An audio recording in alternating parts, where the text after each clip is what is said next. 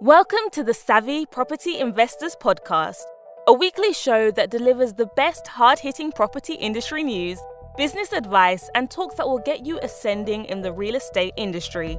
Now, here's your host, the amazing award winning property and business coach, best selling author, and serial entrepreneur, Miss Sapphire Gray. So, welcome to the Savvy Property Investors Show, episode 10. Today's topic is out of the box living, helping women find their way forward.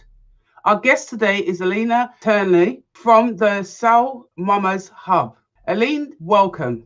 Alena is a Sydney based community founder, podcaster, and a Hapkido instructor, which she would explain to us. Founder of the Soul Mama Hub, Alena helps home based mothers who feel lost find their way back to themselves and become better uh, custodians of their own bodies and their families, and also the environment. The hub provides actionable pathways to holistic health, ethical living, and soulful parenting, plus a beautiful, supportive community. I'm Sapphire Gray, your host, so let's get started. Alena, thank you so much for joining me today. How are you? Thank you, Sapphire. It's really great to be here. I'm well, thank you. Yes, and I want to point out that our guest this week is all the way from Australia, so we really appreciate that. Thank you for taking the time out with us today. My pleasure. So let's get into it. Can you define for us what is out of the box living? So, look, the reason that I use that term is just because I've started a podcast called Unboxable Unstoppable. So, the reason that word came up is that I've been spent I spent probably years uh, trying to work out what my next move would be after having my final child. I've got three, but mm-hmm. um, it wasn't very clear. It wasn't a clear path. I have a lot of different skills. I really struggled every time I got a job. I wanted to do three other jobs with it. I really struggled to find one title for myself. Mm-hmm. I studied several different things in several different disciplines. And I think it's one of those things that some people look at and go, oh, she's jumping all over the place. She doesn't know who she mm-hmm. is. But actually for me it was i do know who i am and i have a lot of different things to offer so yeah.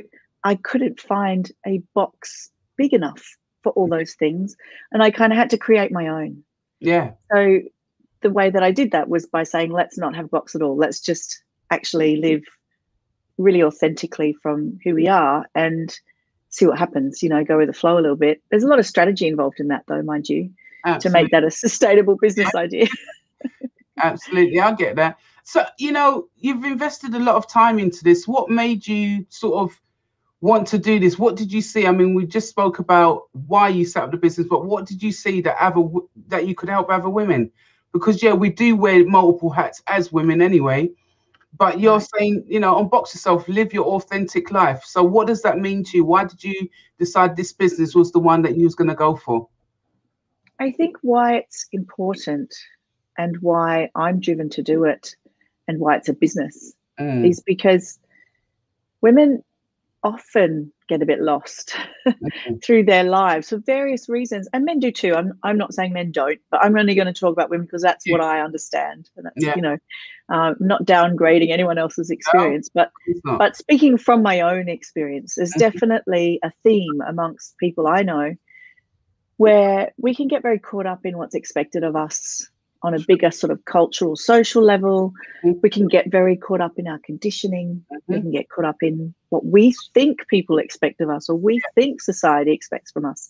And that can kind of give us a bit of a diversion or a side route away from we our own path and our own really best next steps. Yeah. You know, it, it's easy not to know what they are when we've got all these layers and all these different things coming into play. So I guess what I found is that I wasn't alone in that, and that mm. um, mm. I had felt very alone in that for a very long time. So one of the reasons I um, build community, and this is not my first community, by the way, mm.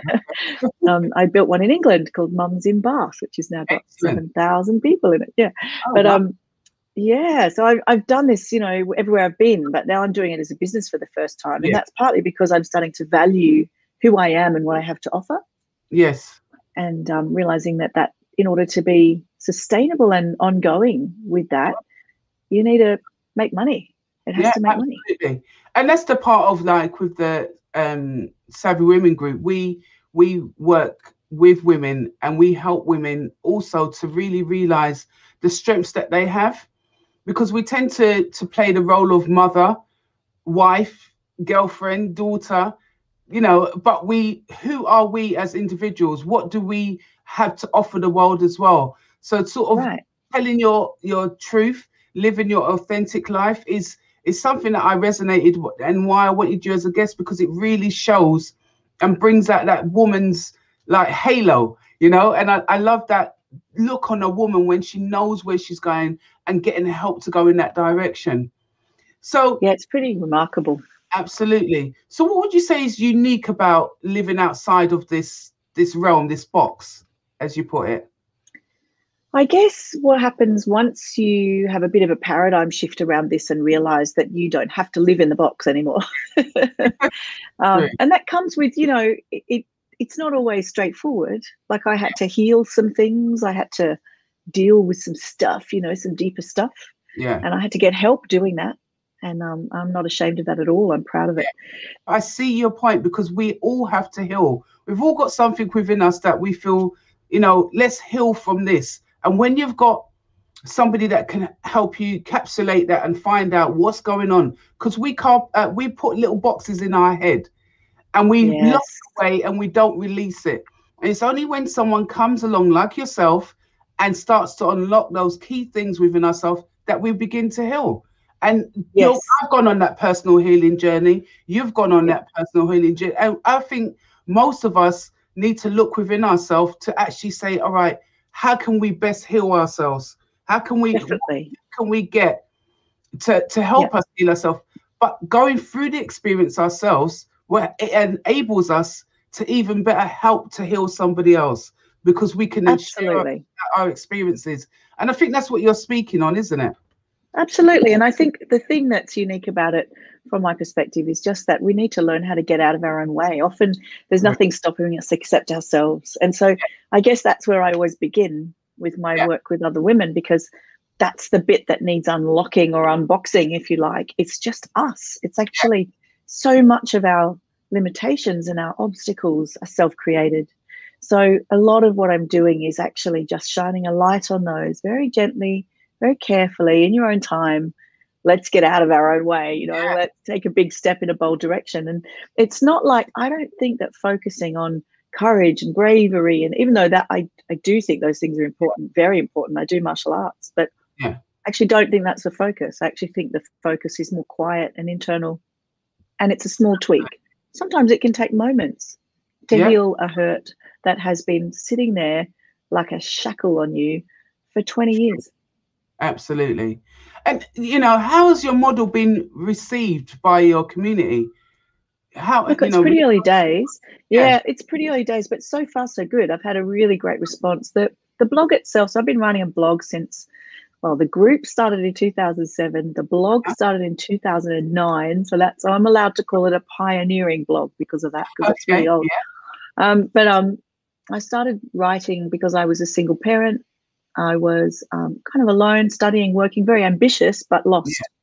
And I felt yeah. very alone. So I started writing to kind of connect and to share, I guess, the awakenings I was having along the way. And that was really cool because it just gave me a connection and it gave me an outlet. And I started to practice the art of writing and I taught myself a lot of technology as well. Yeah. So that led me to here. And then I guess what's been happening, which is really interesting, is I've, I've realized I'm definitely not alone. And there's a lot of women who need this much yeah. more than even they realize until they sort of go, oh, there's a thing for this, you know? Yeah, and so it's, it's been really well received. Yeah, really good. It's really exciting.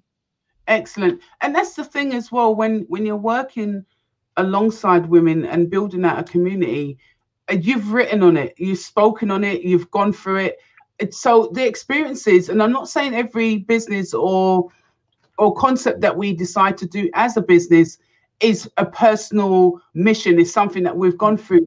But in this instance it is something that you've gone through. It is something that women do go through and to have a community to have a business that's set around helping and allowing people to heal through this process i think it's an excellent idea. And it really does come to mind with helping not only women to be better versions of themselves, but helping them to understand how to become better versions of themselves and don't label everything that we see around us. Because we tend to have all these little tags that we put on ourselves and we think well i'm labeling myself just be you. And i think that's way that's what your your concept has enlightened me on it's just being mm. your authentic self so yeah, and it's you know it's it's a simple idea but it's and it's almost cliched but actually doing it is you know it requires a little bit of a little bit of complexity yeah so what are some of the challenges that um, you face when running this this business as well? Look again, like I like I'm saying, I guess um, with my members, yeah, it's often internal. So my challenges I found have kind of disappeared every time I've worked out that they're sort of uh, become every time I become aware of them. Yeah. like. Yeah. So, for example, um, I've been doing a part time job to fund my business for some mm-hmm. time as a high school teacher. And yeah. um, I recently realized how much of my bandwidth that was taking up. And that actually it was a way that I was kind of keeping myself small in a way. Like I was using that to only work part time on my business. I was saying, well. I've got to keep doing this because I studied it and it's funding my business and blah, blah, blah. Mm-hmm. And I guess what was really interesting about that is that when I did actually talk to my husband, I have a very supportive partner, which is a massive a massive thing. I haven't always had that, so it's Excellent. a massive thing. And um, he just said, you know, like it, it might seem like a lot of money, but honestly, if your business is successful, you'll make a lot more anyway. Yes. So let's just fund it. You know, let's just borrow a little bit of money and fund it. It, it, won't be that hard. You're only working part time anyway, you know, yeah. and then it'll take the stress off the kids and it'll take yeah. the stress off you and allow you to focus. And it's amazing just even making that decision Mm. And I feel like this is a key thing actually, is just making a decision and saying, well, okay, I've decided and now I'm willing to do whatever it takes. Yeah. You know, I'll do are you willing? If you have decision and willing together, you make Absolutely. a decision and then you're willing. That is so powerful. I mean, that's a game changer. And then even if you do have a problem, you find a way, you know. So that's I think probably the key the key obstacle that I'm now getting through. But there's others too, like imposter syndrome, you know, yeah. comes and goes. And by that, I mean, every now and again, I think, who am I? Like, who am I to be doing this work, you know? And it, what, who would want to hear my stuff? I'm not even qualified. I am, by the way, but yeah. I'm not even qualified, you know, and yeah. you go through this in your mind all the time. And that's the thing fear, imposter syndrome, lack of confidence, feeling overwhelmed. These are t- so many words that band around that I hear on a continuous basis. And I always say the transition from employment to self employment is not that far apart, but you have to be committed to it. You have to say, you know what? I know that what I'm going to deliver as a business is going to help so many people. I know that whatever I'm going to do in my business is not going to only help other people it could help my my family it could ha- have a better impact on our life because yes what running a business is is more than a 9 to 5 because you love what you do so you put the energies behind it but making that commitment to yourself and your business is is key in order for us to grow as as individuals as well it allows us to grow and focus but when you're dueling and saying, all right, then I still have to get money coming in, and there's nothing wrong with that. But you have to then say, make a decision. All right, if my business is making money, why can't I just give it a go? Why can't I just say, look, let me put all my energy into this, work out on this business, and if it works, it works, and if it doesn't, hey ho, many of people have failed and tried and come back again, brushed themselves off, and been successful at that. And that's what I love about when people just said, you know what, I'm I need to give in to my community. I've been there and I've done that myself. And sometimes it's heart wrenching and you feel fearful, thinking, oh, you know, am I doing the right thing? Who am I? As you just said about, am I the expert? Uh, imposter syndrome and all these mm. things. Hey, you're not. You're you are who you are, and and that's what I really love about when women recognize who they really are, and that they can. That's their they're given right to go out there and serve people. That's their given right to teach what they know to help other people. And if you only help a few people, hey ho. But it's at least you've taken that risk, at least you've taken away that fear, and you're giving all of, of what you are into your community. So that's a brilliant stance. Mm, well, I agree. And there's yeah. a lot in that too. There's so many things I could respond to there. I don't know how much okay. time we've got. so one thing I will say is that imposter syndrome and feeling like you're not good enough is actually a sign of achieve high achievers. Yes. So generally, if you're asking that question, it's because you're pursuing excellence. Yes. And that will only do you well. Absolutely. And everybody who's ever succeeded has had to fail in order to do so. Like it's mm. it's not just, you know, an important step, it's the only step on the path to success actually is to fail many times over. And I think what sets an entrepreneur apart, a successful entrepreneur apart, is that they become more comfortable with uncertainty. They mm. become more comfortable with existing in that space of uncertainty. Mm-hmm. And I know, I mean, I thrive on it in a way. My life has become quite stable with my husband and my three children. Nice. So this gives me the uncertainty I need, the excitement mm-hmm. that I need, really. It sounds a bit sad, doesn't it? Like the housewife who needs some excitement. But you know what I mean? Like it's yeah. I don't get to go out dancing anymore, like going out clubbing. So so the way that I kind of get my rocks off is by sitting at home, staying up till one o'clock writing a sales page. I think all of us that are entrepreneurs do enjoy what we do and i think that yeah. is the, the, whole essence behind it. I mean i can't agree with you not going out to my clubbing still because i still love going out and enjoying i'm life. working on it babe. I'm working on it. Sydney sucks at the love, moment. Yeah i absolutely love working on the business because i know then when i'm working on the business i'm serving my clients and right. that gives me so much joy to see their progress to see how they grow as well and i think that's what most entrepreneurs do, even if you're running a service, a product, whatever you're doing, it's being able to serve that the, your end user, being able to give them what they need. Because obviously, when you found something to do, and then someone wants to to use that service or buy that product, you just feel elated that you know i've created this i've done this so you want to work on it more and achieve more because of that. And it doesn't become a bugbear it becomes a joy. As you said i love it myself. I love working i love mm. creating things and i love delivering as well. So mm. yeah that's brilliant. Well join us after the break with more insights from alena this week's episode of the Savvy Property Investors Podcast was brought to you by our sponsor, the Savvy Women Group. Thank you for tuning in. If you enjoyed today's show, head over to our website www.savvywomen.co.uk to gain access to our free resources and more insights about our guest speaker today. Remember, we make your business our business so you can unlock your full potential and improve your quality of life. Okay, welcome back. And we're, we've had a brilliant first half. Let's carry on with these questions. I'm really getting a lot of insights from you, Alena. Could you tell us why do you primarily work with women?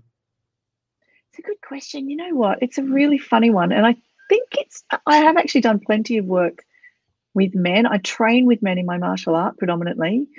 Um, but I've ended up being a Hapkido instructor to women.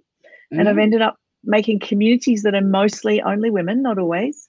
Mm-hmm. Um, and even though I've had plenty of clients and plenty, a lot of friends who are male, and I guess I I just resonate with the way that groups of women work together. I love collaborating with women, and I feel like there's a huge amount of power in mm. the way that we come together. And we have, you know, it's all of this sort of Shiva Shakti stuff that I don't fully understand, but like we are creators, you know, like we're born to be creators. And that for me is powerful. It resonates a lot. And becoming a mother was very much a sort of um, rite of passage for me, literally. Mm-hmm. Like I really went through crazy times to be a mother and to then be a mother again and then be a mother again. I've had loads of stories I could tell around that.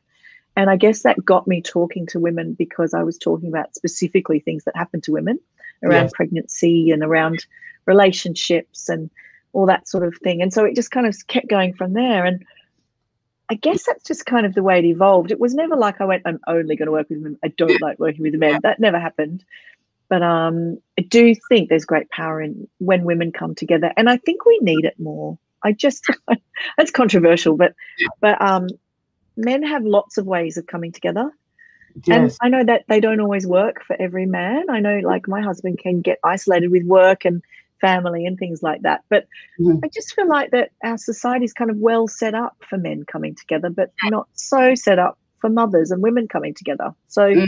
I guess I like to work in the voids. I like to work in the spaces where things are needed. And I feel like it's needed more there because I was pretty isolated when I was a, a mother the first time around. And I think also we are creators of life. When we become mothers, we've created a life. And when you look on that and on a broader sense, there is a lot of women out there that have been creators of life. I'm a mother of four myself and a grandmother of seven. So for me, I've not even just stopped with my my four. I've continued to have now my kids have continued for me on my behalf to have more. So when you're looking mm. at that, you're you're basing all everything that we do on generations to come as well. Because when you have children, they may have children, and then mm. it continues. Our legacy continues, and it's always understanding what's the basis of our legacy. And when you're uh, when you're a mother and a woman, that's the basis of the legacy is to pass that on to our kids, and to, our kids then to pass it on to our grandkids and so forth and such like. And that's mm. why I I work with women because I they are the creators they are the vessels of life. Yes. and when you have a vessel of life in any any um perception of of of living the woman is the catalyst of the home. The man is the head of the home but the woman is mm. the catalyst of building out that home to deliver young people. And i just think that's a beautiful thing when you can help these women to realize you're not just a mother mm. as well. And it's you're, and it's, a, you're a future changer. That's right you know and you're you're contributing to society in that way. So why not help women? I i work uh, with women myself. 95% mm. of my clients are women. And i always see the development in themselves when they realize you're not just a, a, woman. You're not just a mother. You are you can be you and be out there and show the world there's so much things that you can offer you know and when they start to get that aha moment it's phenomenal. When they start to realize how much they can do that's when the breakthroughs happen. That's when all the changes happen. And that's when they start to really look into themselves and think i really get this. Mm, i've noticed so, that as well with the yeah. members in my group. Yeah it's amazing. So what changes have you recognized with the members in your group as well? Like like know, i say fairly early days i mean i've had some impact in the past with my blog mm-hmm. and um now the podcast as well. And I've certainly had some impact with teaching women martial arts. That's been very impactful. Um, I guess the biggest impact I've noticed with my membership, which although it's quite new, I, I've really noticed some things moving like a momentum, just gradual building of momentum. Mm. Um, they're quite small things, but they're small things with a big effect. So, like one woman, for example, she's a shift worker, she's a nurse, and she just wasn't feeling very, I guess, inspired and fulfilled yeah. in her work, even though she does amazing work actually. Mm-hmm. But she was feeling like she couldn't make any changes because she didn't want to disrupt her family's rhythms. Mm. And I think I've just helped her a little bit come to the realization that actually she is her family's rhythms. Like she has to put herself first. You know, there's mm. been that sort of a little bit of a reckoning with a few of the women actually, where they've been kind of floundering and getting really caught up in yeah. other people's stuff. So I guess what the main effect that I'm having at the moment, and like I say, it's pretty foundational because they're still quite new to it, but is that they are coming back to their center. Like they, instead of being sort of so scatty and having their mind in a thousand places at once and not knowing how to prioritize their own stuff that's important to them and not being sure even what's important yeah. to them i've helped them to really clarify okay this is what's important to me. Yes. and this is what i must spend time on every day. Otherwise i don't feel good. I don't feel like me. you know so that that's the sort of first shift. And then mm-hmm. what will happen from there and i've seen this a little bit with people i've coached privately is things will open up things mm. open up to them. So this thing that had them stuck in their business or this thing that had them stuck with their kids' behavior or something in the home that they couldn't quite just get working properly, you know, some sort of like I talk about ethical living quite a lot as well, which is the way we care for our environment. And there's things like that, like, oh, I want to do this, but it just seems too hard. And I'm like, oh, it's easy, just do this, you know, and that could be like making your own fabric softener, it could be making kombucha, or it could be buying groceries in a slightly different way that's just a little bit kinder to the planet, or shopping in slightly different way online that's a little bit kinder to the planet, things like that. So mm-hmm. just practical slash spiritual esoteric where they two meet, you know, that's kind of where I work. And what I see over time is that things just open up. They just go, oh, it's that sort of paradigm shift that way more is possible than I realized without that much effort. True. So, what are some of the ways that women out there can implement the way you're talking about the out of the box um, thinking in their daily lives? I think the very first, the very first thing is to just accept, is to go, you know, something doesn't feel right. Like that's the number one.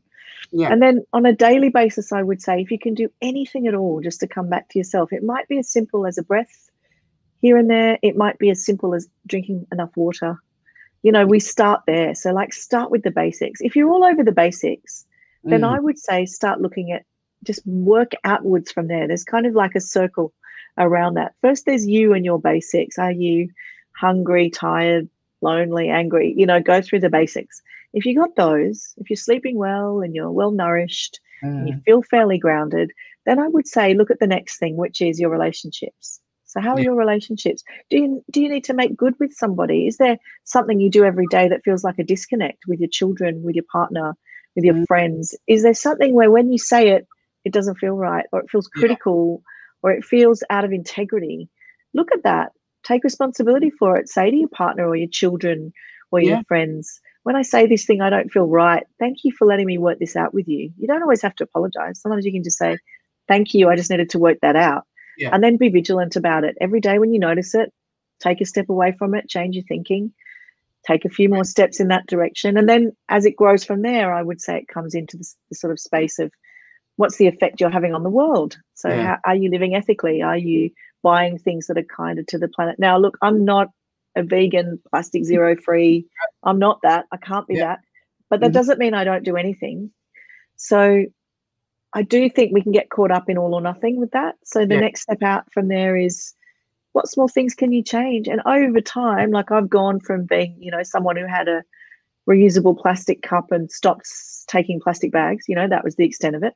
Mm-hmm. And then it grew. Then I, you know, grew a few of my own veggies and started making kombucha, you know, and then it grew. Now I buy organic and I try to only buy regeneratively farmed meat because I'm a meat eater. So if you if you eat meat, find out where it comes from, find out who does it properly and looks after the planet when they do it. Buy it there, you know. So start prioritizing the bigger things that align with your values. So you know, find that alignment, and you can do it every day. Like it might be that one thing a day. Okay, I bookmarked an ethical butcher. You know, that might be your thing for today. Yeah. It, it doesn't really matter, just as long as you keep doing it and you keep doing it, and then oh my gosh, it grows. You know. Yeah and it does. So that's the sort of thing. Yeah, it always starts with something, doing something small, and then mm. once you've done that and achieved that, then you can move on. And then it, the time you look back and you think, oh, I'm doing more rather than less, only because yeah. you've just organically done it. Because I, I, mean, I'm a recyclist queen. I, I recycle everything. I make sure that is, you know, um, but I'm also a meat eater. But I do yeah. switch out my food according to to weeks as well. So some weeks I'll just yeah. you know be plant based, and some weeks right. I'll have you know fish or chicken or something. So I do switch right. it up according to how I want to eat. I do only eat locally uh, produced food as well. Right. And I love growing vegetables and things like that. And I had the opportunity to do that when I lived abroad. So I, I understand about how you can live in in your own zone, in your own way, and be ethical as well. So thanks for sharing that. So yeah, just start where you are. Start right yeah. where you are. That's it. Absolutely. So what is your number one advice that you can give to anyone on our listeners today? I guess the number one thing and the foundation of all of this stuff we're talking about really is to be able to tune into your instincts and kind of follow the breadcrumbs through your own life. You know, mm-hmm. if you are one of those people that struggles a little bit to trust your own thinking and mm. you can't get out of your own way, you know, you, you're not quite sure, you've lost that sense of certainty. Well, that's okay. You know, embrace that. There's great power in that. And if you can start to just turn up the volume a little bit with your intuition, turn up the volume a little bit with your instincts, start to listen to those little spidey senses and the little tingly antenna that you have that we all have and start to tune in. That's yeah. kind of for me that's it sounds very 1970s it's not supposed to. But it's like just come back to yourself and and get used to your center True. and really carry it with you wherever you're go you know you're going. And that's probably the the number one thing that i think we easily forget. I think from there amazing things can come. Excellent. So alena how can our listeners contact you and learn more about your services and offers that you have well, thank you for asking. So they're probably the, the one-stop shop would be the website, which is soulmamahub.com, S-O-U-L-M-A-M-A-H-U-B. And I'm on Instagram also as at soulmamahub. And then there's the podcast Unboxable. Just search Unboxable Unstoppable and you'll find it anywhere. Brilliant. Thank you so much for being our guest today. It's been such a pleasure learning more about your business and learning more about you. You've been fantastic and sharing with our audience. So come on, savvy investors, let's take flight. Don't forget to subscribe, rate us, review, download, and share. We look forward to sharing our another podcast with you next week on the Savvy Property Investors Show. Look forward to seeing you then. Enjoy this episode. And thank you again, Alena, for joining us. Thank you so much for having me, Sapphire. Bye bye. This week's episode of the Savvy Property Investors Podcast was brought to you by our sponsor, the Savvy Women Group.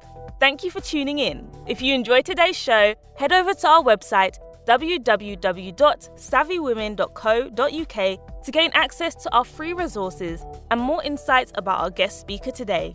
Remember, we make your business our business so you can unlock your full potential and improve your quality of life.